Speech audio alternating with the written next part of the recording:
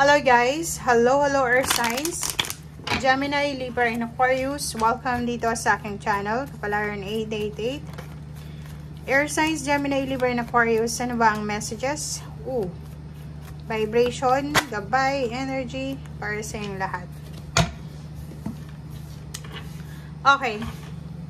So, kung makikita mo dito, siguro ano, may nararamdaman kang hindi maganda sa katawan mo or pwedeng kapamilya mo to na mayroong sakit or mayroon silang mga nararamdaman sa kanilang katawan. Posibleng sa araw na ito, magiging maayos yung health nyo. Magkakaroon ng uh, parang solusyon, parang gano'n. So, if uh, siguro ano, for, for the past few days, medyo malungkot ka, hindi stable yung physical body mo or yung emotional, siguro sa araw na ito is magkakaroon ka ng balanse. Medyo nakapagpahinga ka na, nakapag nakapag-energize ka na, na-replenish na yung energy na nagbibigay sa'yo ng lungkot, parang ganon. And yung iba din sa inyo, if ever man na may mga pinagdadaanan kayong uh, problema, trials, or kano pa man sa otoridad, like sa police, sa gobyerno, or sa boss mo, or sa kung kanino man ito na official person, posibleng na-resolve na or malapit mo nang ma-resolve ang mga issues na to. Okay.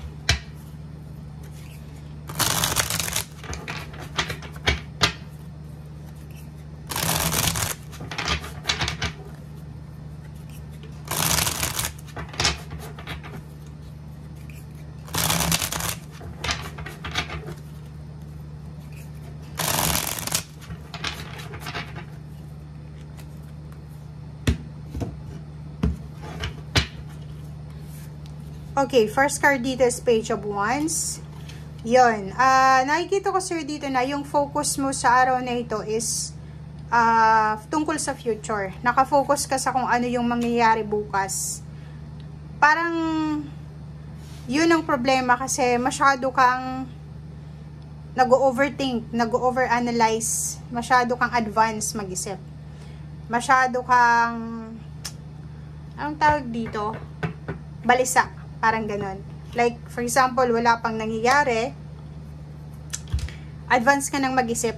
Parang ganun. So, uh, dahil sa sobrang focus mo sa future, posibleng yun, magkakaroon ka ng mga confusion, pagkabalisa, hindi ka makatulog sa gabi, mag-aalala ka din, parang ganun. So, comment down below, if resonated ka.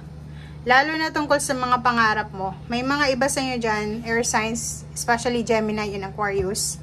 Masyado kayong nag-aalala sa future nyo, sa mga pangarap nyo eh. Parang iniisip nyo na, matutupad ko pa ba yung pangarap ko? Nasa tama ba akong direksyon? Ano bang mangyayari sa akin sa future? Parang ganito, ganyan. So, yun yung focus mo or yun yung concern mo sa ngayon. Okay, Ace of Pentacles. Yung iba naman sa inyo dyan is um, may posibleng prospect kayo na pwedeng pag-applyan. It's either company, country na gustong puntahan, company na pwedeng lipatan, relationship, or tao na gustong maging karelasyon. Parang ganun. So, nasa Ace of Pentacles ka, ang focus mo din is pera.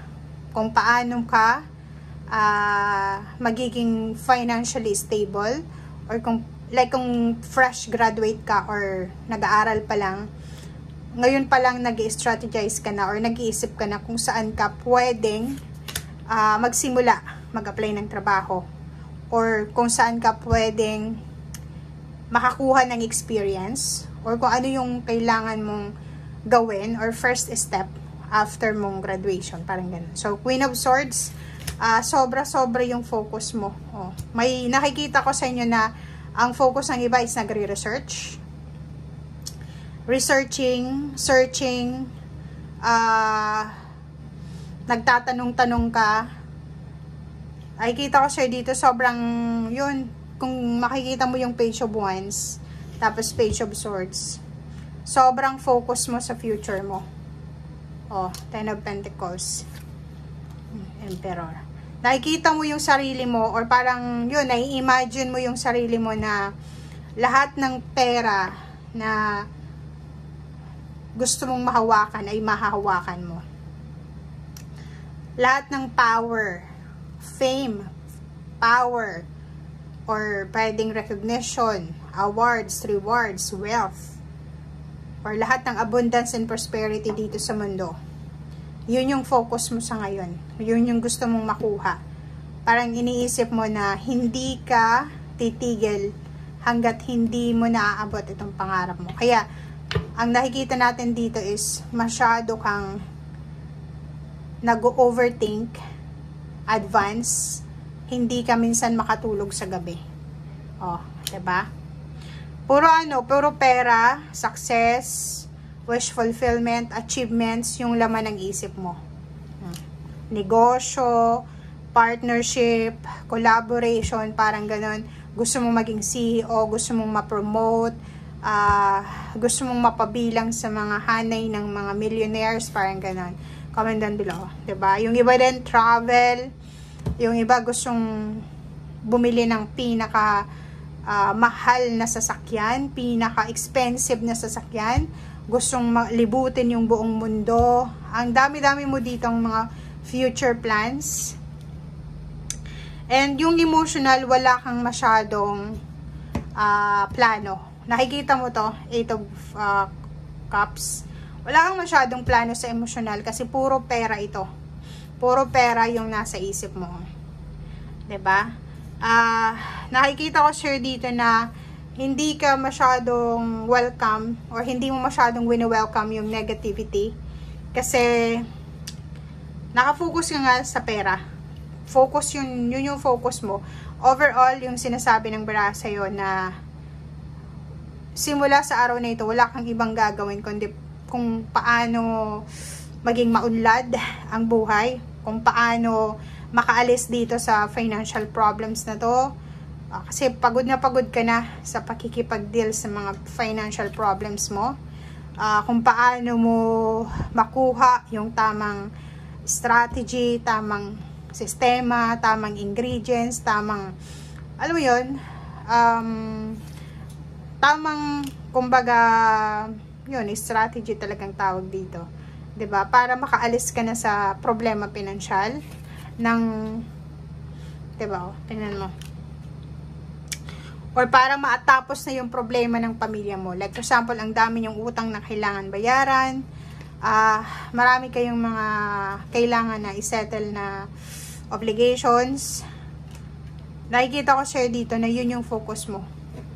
Yun lang yung focus mo. Gustong makaalis sa sa problema pinansyal. If ever may sakit ka or may sakit yung pamilya kasi itong Five of Pentacles, tsaka itong bad health, pareho din naman sila na uh, financially burden siya kasi wala siyang pera. Parang ganun. So, ang nakikita ko sir dito na handang-handa ka. Pinaghahandaan mo eh. Lalo kung nasa below 30 years old ka pa lang, sobrang pinaghahandaan mo eh. Nagre-research ka, nagtatanong-tanong, hinahanap mo yung tamang tao, tamang lugar, tamang tamang sitwasyon para makuha mo agad yung success na minamanifest mo. Okay? Thank you guys. Bye!